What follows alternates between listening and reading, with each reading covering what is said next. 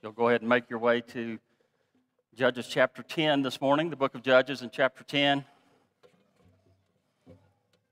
My preaching professor, my preaching professor in Bible college used to say that you can always tell the first year students because they're the ones that know everything. Someone else has said that education is the process of expanding the borders of our ignorance.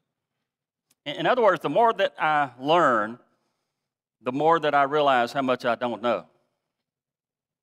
Our study of the book of Judges has led us to this 10th chapter where we begin to look at the recorded circumstances whereby we're introduced to Jephthah. Jephthah is the next judge in the list of judges that we've examined thus far. And while looking at these various judges, each one has its unique challenges, there's perhaps no account of a judge more perplexing than that of Jephthah's. If you're familiar with the story at the end of chapter 11, you know that Jephthah makes this vow, and there have been uh, debates over the years about what exactly does that mean. I've had three weeks to think about this as I've been away on vacation, and I can tell you I could use another three weeks to think about it. I mean, it's, it is something that is really challenging. Went back and forth. To quote my preaching professor again, quote, I used to know what I, I used to know what this passage meant, unquote. Used to know what it meant. But the more time you spend with it, the more you begin to study the Word of God, the more that you really look at other passages of scriptures to bring light to that particular passage, to help us interpret and understand it, the more challenging it is. You just go back and forth, back and forth.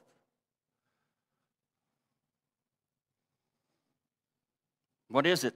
Well, we're going to, Lord willing, look at that this morning. I'm looking, and if you look behind me, you'll see that we're planning to go through chapter 12, verse 7. Well, that's a lofty idea. I don't think we're going to get there. Honestly, if we can get through these last two verses of chapter 10 and into chapter 11 to the end of this story of Jephthah, I would really be greatly encouraged by that. But here's what I'll do this morning as we come into this. What I'd like to do is, I, I, and rather than read the whole account, what I want to do is read the first part, beginning in chapter 10, there in verses 17 and 18, and we'll read through the introduction that is given to Jephthah. And then we'll come back, and as we walk through the passage, we will read those portions later on. So let's do this. Beginning in chapter 10, in verse number 17, the Word of God says that then the sons of Ammon were summoned, and they camped in Gilead. And the sons of Israel gathered together and camped in Mizpah. The people, the leaders of Gilead, said to one another, Who is the man who will begin to fight against the sons of Ammon? He shall become head over all the inhabitants of Gilead. Chapter 11, verse 1. Now, Jephthah, the Gileadite, was a valiant warrior, but he was the son of a harlot. And Gilead was the father of Jephthah. And Gilead's wife bore him sons, and when his wife's sons grew up, they drove Jephthah out and said to him, You shall not have an inheritance in our father's house, for you are the son of another woman. So Jephthah fled from his brothers and lived in the land of Tob. And worthless fellows gathered themselves about Jephthah. And they went with him. And it came about after a while that the sons of Ammon fought against Israel. And when the sons of Ammon fought against Israel, the elders of Gilead went to get Jephthah from the land of Tob. And they said to Jephthah, Come be our chief, that we may fight against the sons of Ammon. Then Jephthah said to the elders of Gilead, Did you not hate me and drive me from my father's house? So why have you come to me now when you are in trouble? And the elders of Gilead said to Jephthah, For this reason we have now returned to you, that you may go with us and fight with the sons of Ammon and become head over all the inhabitants of Gilead.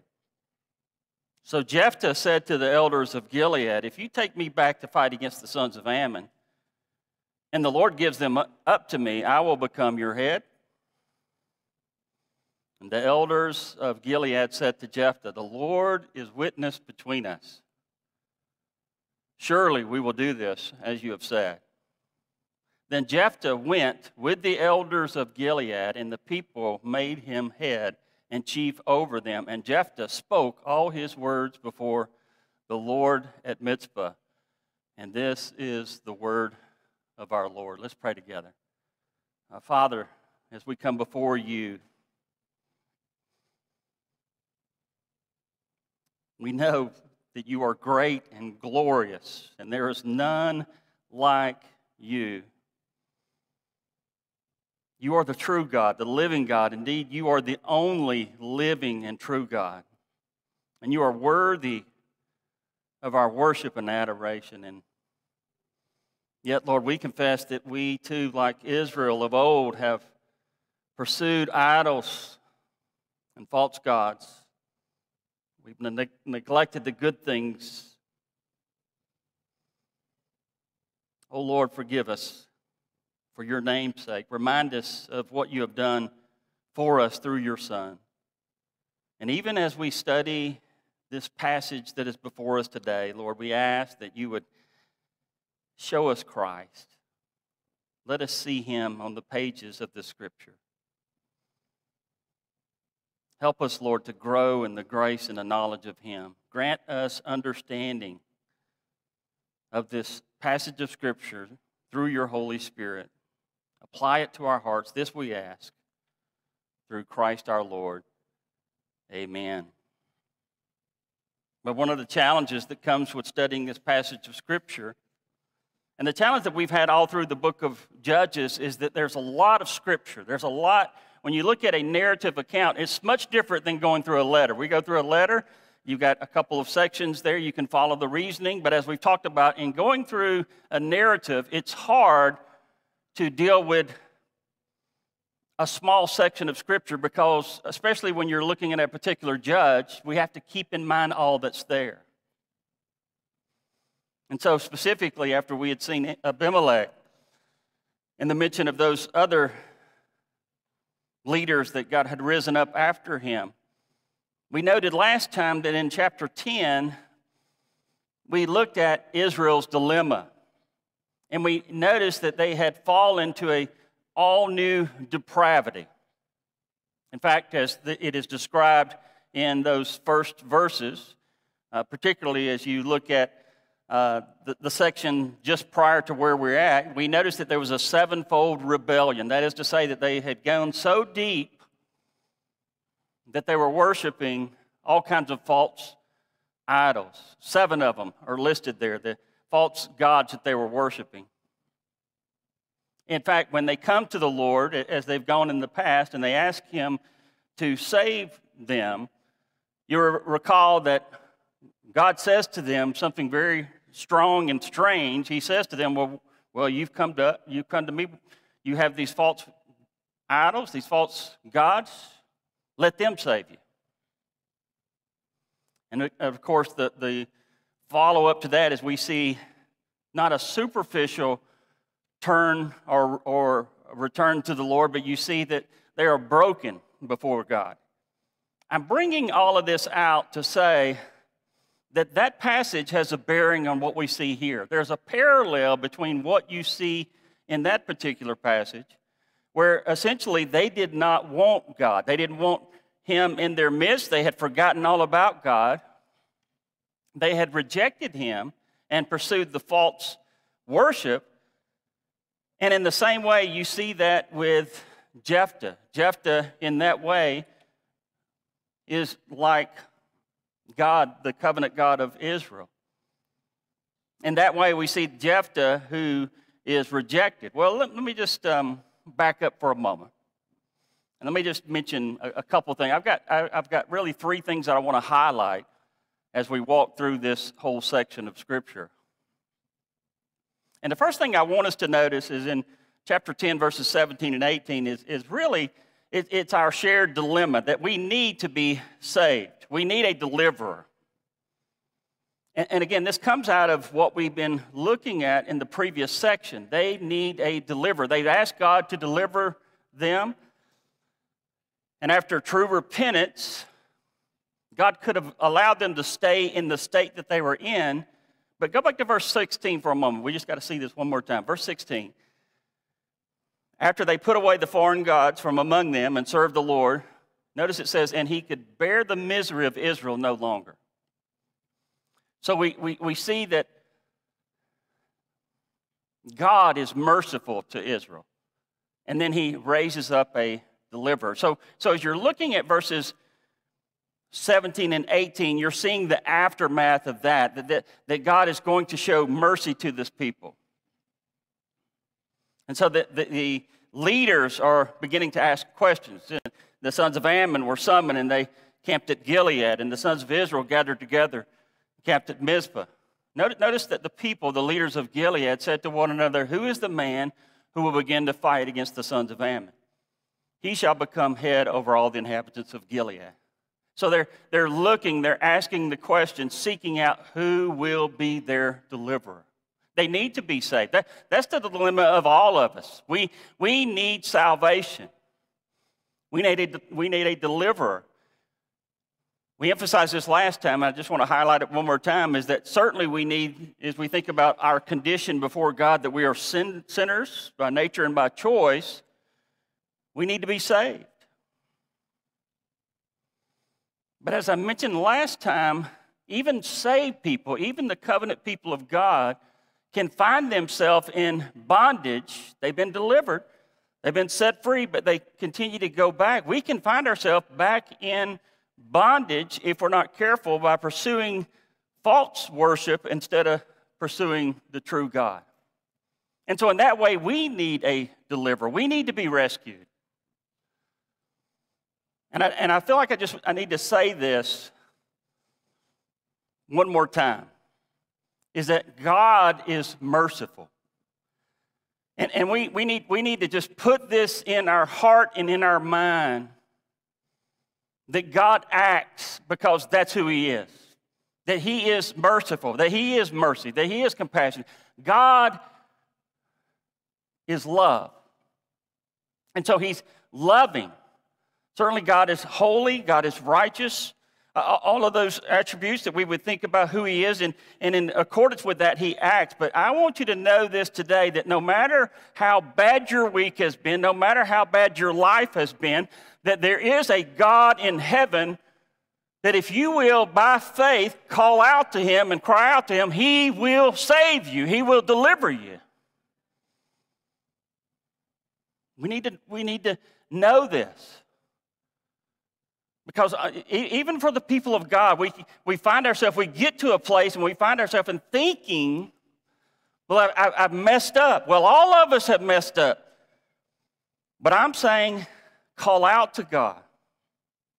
That if we are humble, that, that, that, that is, God is opposed to the proud, but He gives grace to the humble. Be mindful that there is a God in heaven. I mean, God, who did not spare his only beloved son, but gave him up as a substitute, as a sacrifice on our behalf. This God loves you. This love that we have is a covenant love. And He's committed to this covenant relationship. And, and I'm saying that He will rescue us. No, no, matter and that's what we see in the previous section that, that even though they deserved israel deserved the consequences. They had messed up. They had they, they had pursued false worship and they and god would have been just and righteous to let them reap what they had sown. But god is merciful. And i'm saying the same for all of us that he is merciful to us But I want to say this as well that he is merciful to his people, that he is loving to his people, and that if you are outside of Christ Jesus, then you can know nothing of this love. You can know nothing of this being rescued by God. It is for those who are in Christ Jesus. And if God is for us, then who could be against us? He didn't spare his only son. How much will he do for his elect? How much, how much does this God love us? Well, God raises up a deliverer. All of us have this shared dilemma that we all need a Savior. We need a Savior not only to save us from our sins, but we, we need a, a, a Savior. We need a deliverer constantly, continually. We're dependent upon Him to give us the grace to be able to continue and persevere. Notice the one that they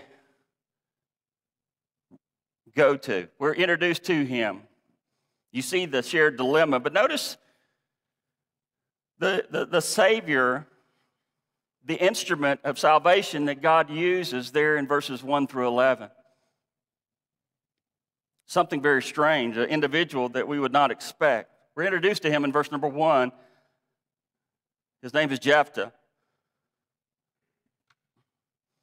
We're told that he was a, a valiant war, warrior, but notice this that he was the son of a harlot. And Gilead was the father of Jephthah. It's, it's interesting the way that this is worded here. You do see that, that his, he was the son of a harlot, a prostitute. Gilead was his father. The, the way that it, the, the, way that it's used, it actually, the language there, it could be that Gilead, that, that Gilead was his father, but really the way that it's, it's worded there, that someone from Gilead was his father. They didn't know. Any man from Gilead could have been his father.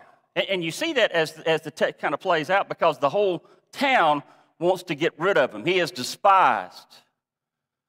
This is a despised deliverer.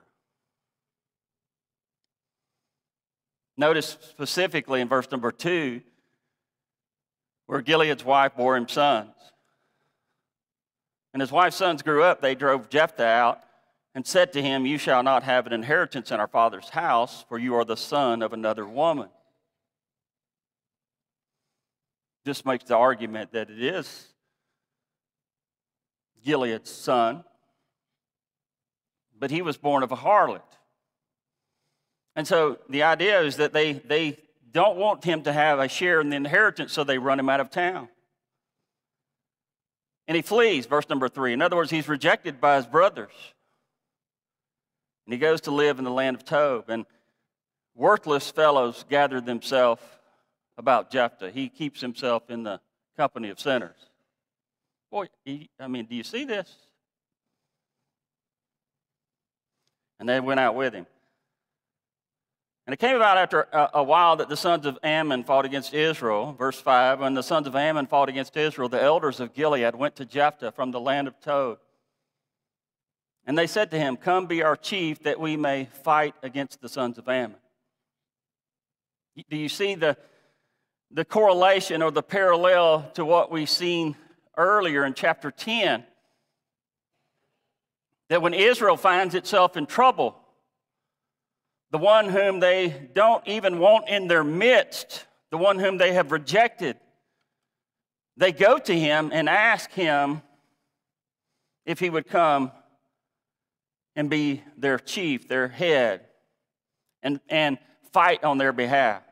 You get the impression, and you'll see this as we go through this, that Jephthah is a fighter. I mean, he, he is a, he, he's called a valiant warrior, but I mean, this, this is a bad dude. He takes no lip off anybody. We won't get to chapter 12, but you, you can read ahead for that next week. I mean, Je- Jephthah does not play. But he also calls them out in verse number 7. He calls out the elders of Gilead. He, he said, did, did you not hate me and drive me from my father's house?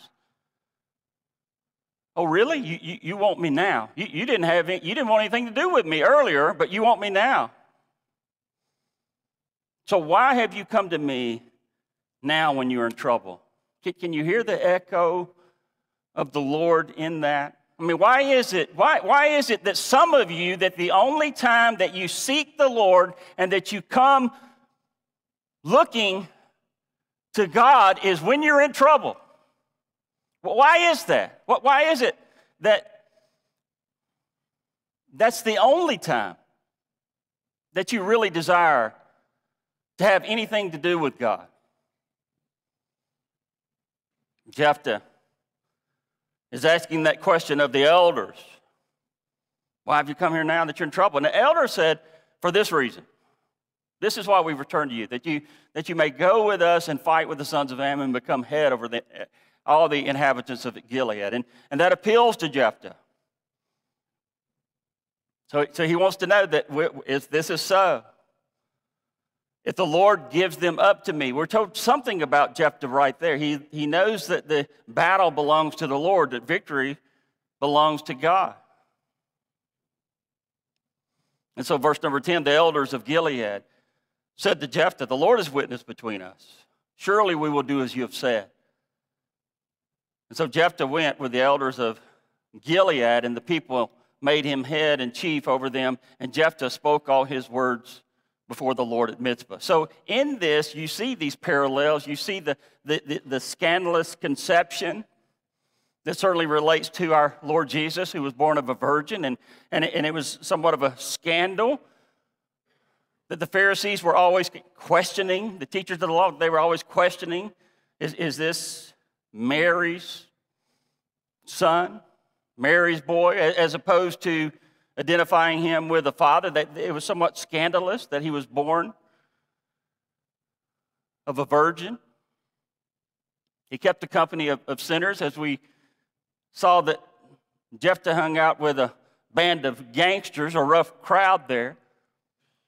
But then you see something going into the next session that also parallels the Lord, and that is that the wisdom that Jephthah has. Now, some people emphasize this next section, beginning in verse 12, as negotiation skills. But really, what we see in this is the wisdom of God, that He's using the scriptures as a way to confront the king about the battle that he is desiring, the fight, the war that he desires to have with Israel. And so, if you look at the story, in fact, uh, you'll see the premise is there in verse number 12 is where we begin. It says that Jephthah sent messengers to the king of the sons of Ammon, saying, What is between you and me that you have come to fight against my land? There, there's this going back and forth with Jephthah and the king, messengers going back and forth. And Jephthah is sending word to the king. He, he wants to send word to him, asking the question, What is this between? But notice the premise there in verse number 14. You'll, you'll notice that he says that Jephthah sent messengers again to the king of the sons of Ammon. Excuse me, let's go back to verse 13. So the king says, because Israel took away my land when they came up from Egypt. And Jephthah says in verse 14, as he sends those messengers, verse 15, Israel did not take away the land, Moab, nor the land of the sons of Ammon. This is the premise.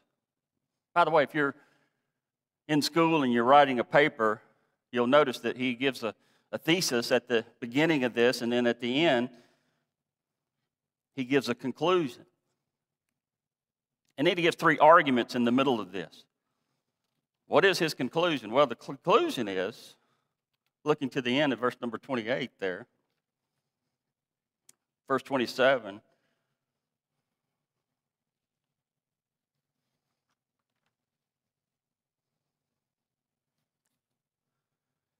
He says, I therefore have not sinned against you, but you are doing me wrong by making war against me.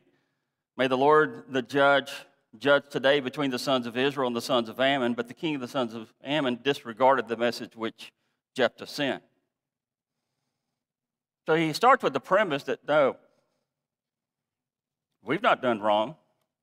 And that's his concluding statement as well. And then he gives three arguments. I, am not going to take time to go through all of this in detail, but I, just want to highlight there for you in verses 16 through 22, he does a historical argument. He goes back and argues how Moses and his people had asked the Ammonites for a safe passage through the territory. And, and the Ammonites would not grant them what they had asked for. And so this led to war. God gives Israel the victory. So Israel didn't steal the land. And furthermore, the Amorites had originally taken the land from the Moabites, so if Israel's claim to ownership by conquest wasn't valid, well, neither were the claims of the Amorites. He gives a historical, then he gives a theological in verses 23 and 24. That it was the Lord had given them the land. Again, Jephthah's always careful to give the Lord the glory. And so he makes this argument that it's the Lord who had done that. And then he gives a, a, legal precedent in verses 25 through 26. Let's just look at that. He says, Now are you any better than the Balak, the son of Zippor, king of Moab? Did he ever strive with Israel? Or did he ever fight against them while Israel lived in Heshbon and its villages, and Aroer and its villages, and all the cities that are on the banks of Arnon, 300 years. Why do you recover them with that time? In other words, why, why, why now? I mean, why are you waiting to now to do this? 300 years have gone by. What has changed? He gives an historical argument about the way that the land was given to him. He gives a theological that it is Yahweh, it is the Lord who has given them that land. And then he makes the president, this is, this is the way it's always been, so why now? It's interesting because there is a parallel here as I was uh, studying this. I, I, it made me think about Matthew 12, where we see the Lord Jesus dealing with those Pharisees and teachers of the law, that he, in that, he's dealing with them about the Sabbath. And he does the same thing. He gives a historical reference to David and how David partook on the Sabbath. He gives a theological about the priest would eat on the Sabbath, and then he gives his conclusion. So there's parallels in that. I'm bringing all this out to say that there's parallels between Jephthah and the Lord Jesus. What is all this about? What is he doing? What, what, what is God teaching us through this passage of Scripture? One of the things he's teaching us, and Jephthah, who was born on the wrong side of the tracks, and Jephthah, who on the surface, there's nothing in him or about him that makes him look like he would be the right kind of deliverer. And when the Lord Jesus walked on the face of this earth, there was nothing about him that drew people to him to say that this is God in the flesh, other than his words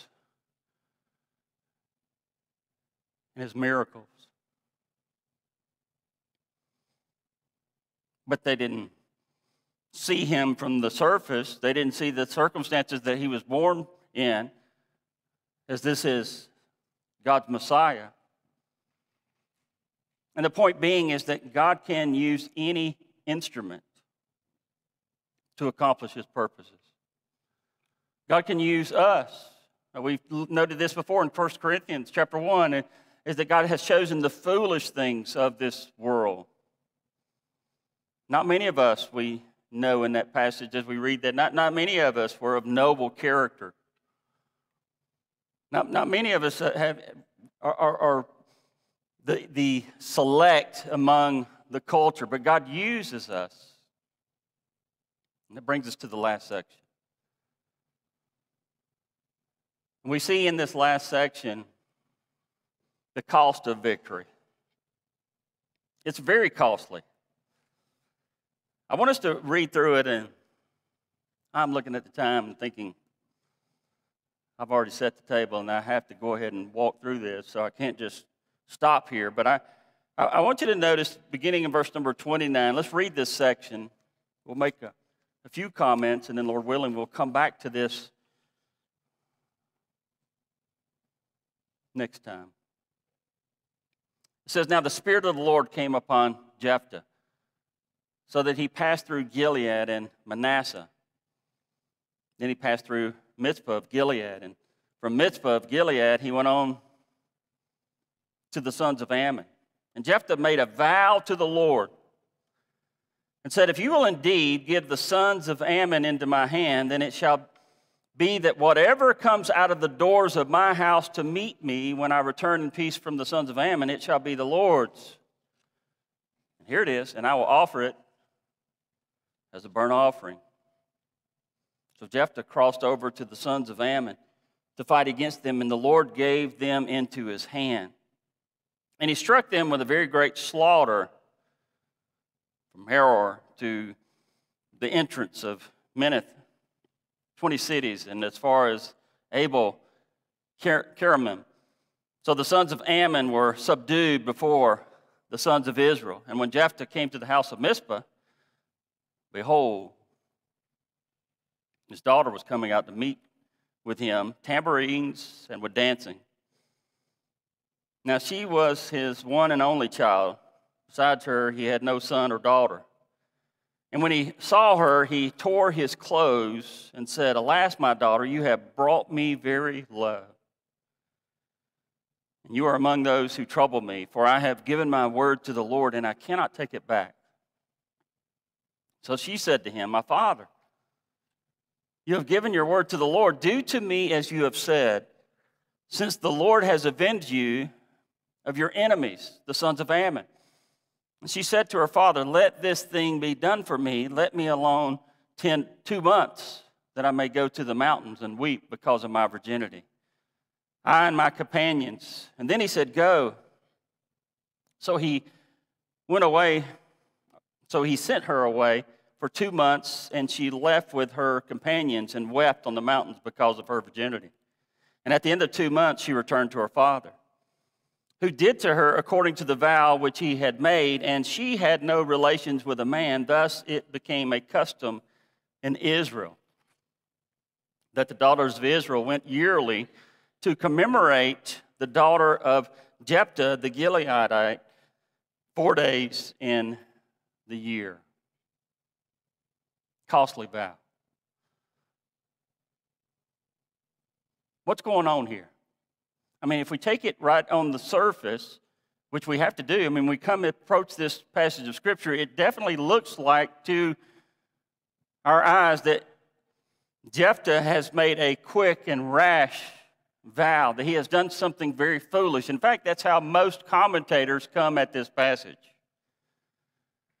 And in fact, as, as common, well, they come from different directions, but for the most part, they come at this passage and they criticize Jephthah for making such a foolish and rash vow. And the commentary goes something like this that Jephthah, who has shown his negotiation skills, as we've seen in the previous section, and he, he makes his three arguments, he's, he's got a premise, he's got a conclusion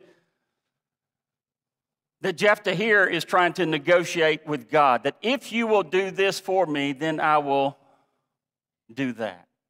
And that's the way it's presented. And in fact, it's presented in that way, in such a way that we can't help it. If you've heard a message on this or if you've read anything about this, you can't help but to see this passage in that way. But it does bring up some questions. Is that what really happened? Is it that Jephthah, who makes this vow that whatever comes through the doors of my house that I'm going to offer as a burnt offering, did he offer his daughter as a burnt offering? Well, that's all the time we have for the. No, no, I'm just kidding. So, what, what, what, what are we to make of it? Well, no, number one, I think as you, as you look at this passage, you have to look at it in light of all of Scripture. And we know that nowhere else do we see a burnt offering. The only, the only time that we see someone who is offered as a sacrifice to the Lord outside of the Lord Jesus Christ is when God tells Abraham to take his only son, Isaac. And in that way, that's the only time you see God is the one who is orchestrating that. And of course, he prevents, he sends the angel and prevents Abraham from taking Isaac's life. So you, don't, you, you don't see anywhere else in Scripture where God is pleased in doing this. And I say that to say that there are occasions where you see, for example, with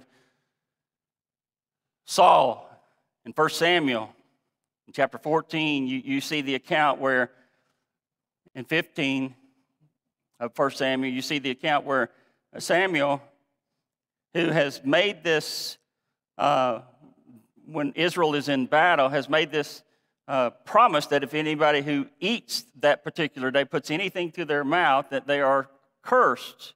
And Jonathan, who had not heard about that, you remember the story. Jonathan eats some honey, and when it's pointed out to Saul what he has done, you recall the story that he was going to have him put to death, but all of those around him would not let it happen. And I bring that out to say that I would think the same thing would happen, that this was a sacrifice, a burnt offering to the Lord. I would think that there would be those around that would not, the priest who would not let this happen, allow this. I would point to this that before we see the vow, notice going back to verse number 29, that you see that the Spirit of the Lord came upon Jephthah. The timing of that says something about what Jephthah is doing. This is not the only place where we see something like this where Jephthah makes a vow to the Lord. We see that with Jacob, for example, where he makes a vow that if God would do something, that he would do something in return. Some have suggested that Jephthah did not expect his daughter to come through the door. I think that's very clear from the text. Some have argued that he may have thought that maybe it would be an animal, not necessarily a cat or a dog, but maybe a, a, a goat or a sheep. But there's nothing that would suggest that. In fact, the text makes it very clear that he's not talking about an animal, because he talks about this person, this one who's coming to him, that when they meet me, I don't know of dogs or cow. I wouldn't know of a cow or a, a donkey or something like that coming up to, to meet us and greet us because of the victory that's been won. He's expecting someone and it seems to be he's probably expecting one of his servants. It's not, as we see his daughter is dancing there, she's celebrating. It's not uncommon that after a victory has been given to Israel, even you see this with Miriam and those women after the victory of Moses, that they were dancing. The tambourines, all of that is not something that would be uncommon. But it's probably that he was expecting a servant that would come out.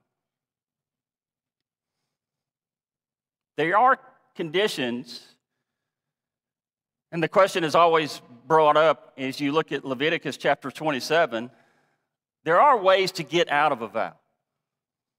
We know that our yes is to be yes and our no is to be no, and that when we make vows, that we are to keep those vows before the Lord. God holds every word that we say. He, he, we're, we're accountable for all of our speech.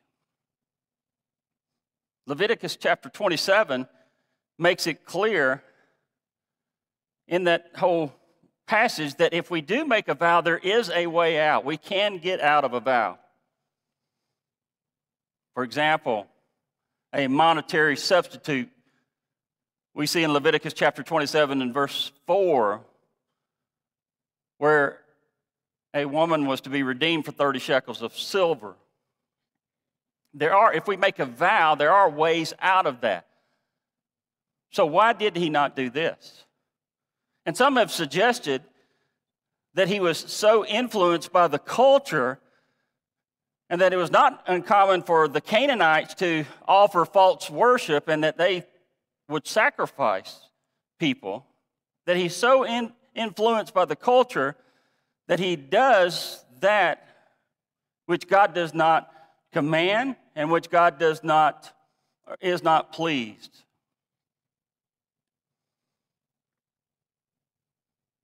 But I don't think that's what's going on here. Why did he not get out of this? Why, why did he not get out of the vow? And I, and I would show you, if you want to look at Leviticus chapter 27, real quickly, we'll make this reference and then we'll bring this to a close. Leviticus chapter 27. Look at verses 28 and 29.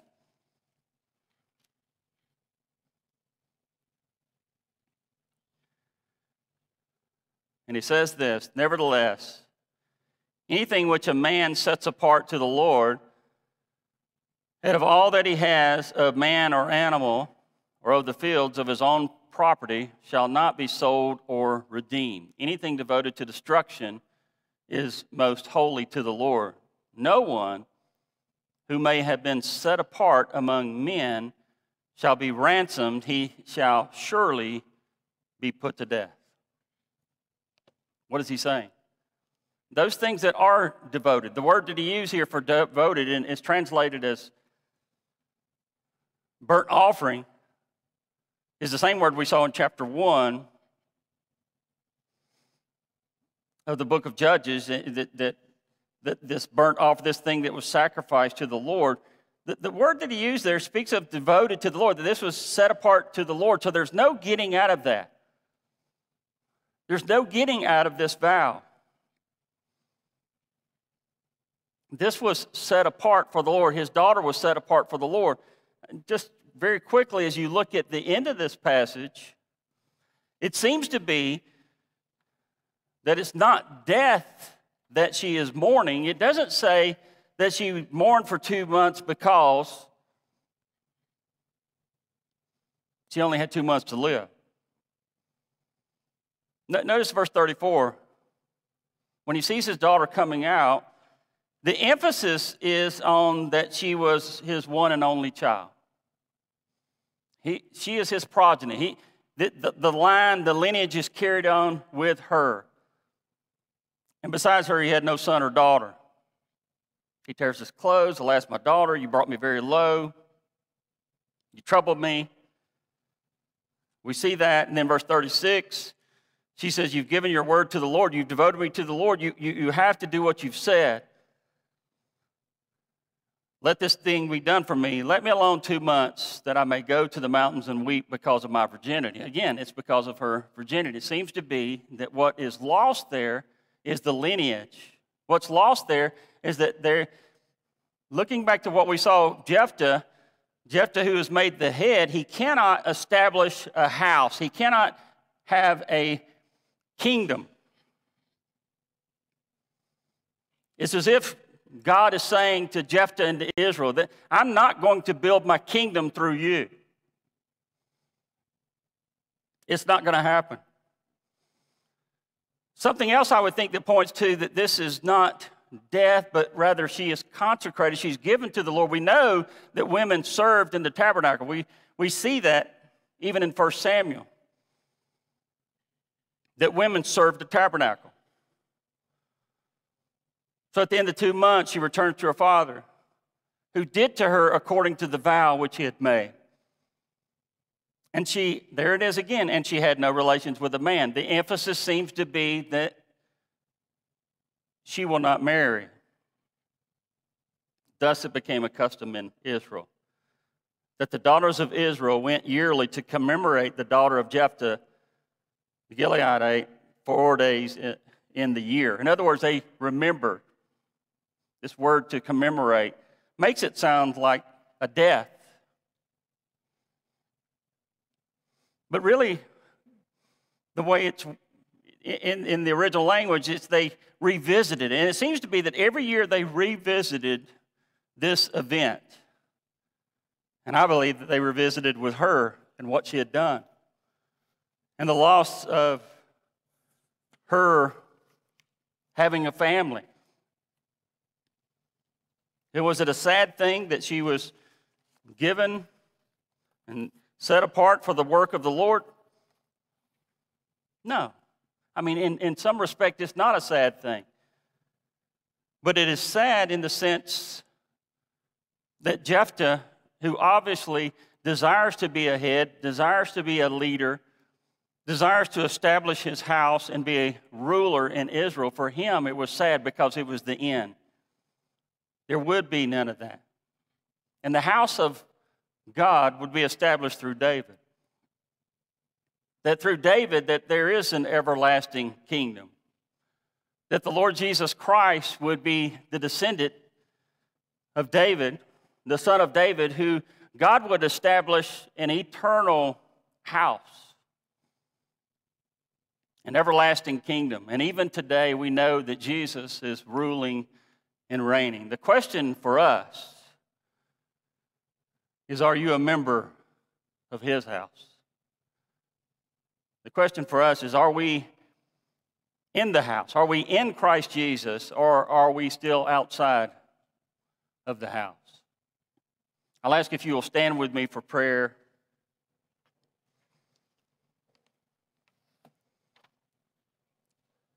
Lord willing, we'll come back next week and make a few other remarks, but I want to get into chapter 12 and those first seven verses. But I'll end where I began, and that is to remind us that we all need a Savior. We all need a deliverer. We all do. And if you are not a believer on the Lord Jesus Christ, you have not trusted in Him, and maybe you would say, you know, I, I don't understand that. I, I, then I would say, pray and ask God that He would give you a heart of understanding, a mind to understand your need for the Lord Jesus Christ. And then for the rest of us who are in Christ Jesus, I will remind you that this one who, whom, Christ, uh, whom God has established this everlasting kingdom, that he is building his house and that we are part of his house if indeed we are in Christ Jesus. Father in heaven, we thank you for this teaching. I pray, Lord, as we examine our, our own hearts before you, that we would seek to, to apply these truths to our heart. Lord, we would check ourselves to see if we are truly of the faith. And Lord, that we would be mindful of how when we pursue the false things of this world, false worship, the pleasures and pride of life, when we pursue those things, that we are truly rebelling against you. Help us, O oh Lord, deliver us from those things. All this we ask through Christ our Lord. Amen.